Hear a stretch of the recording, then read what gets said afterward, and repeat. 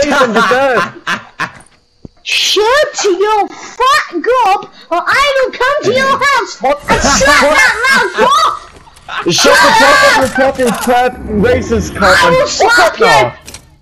You won't slap knock you. anybody, man. Yeah, I will. I'll get Robson to smack you. I think he you already has anyways. look up your mother, you fucking kid. Uh, I don't know what else to say. Shut the fuck up and listen to your fucking mother and shut. Off your game now. Why? Yeah, yeah, get off your game, you fucking shit kid. Oh. Get off your game. Why? Get off your game now. Get off the game.